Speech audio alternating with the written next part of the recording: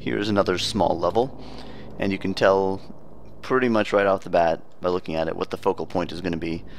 This larva, in order to get into the incubator, uh, you don't really have very many options. It's going to be impossible to uh, get it in any obvious way onto the surface that the incubator is sitting on.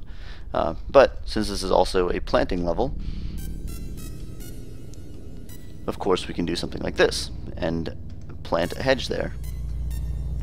Then we'll come back, flip it over, and now it's in position, and we just need to trap ourselves.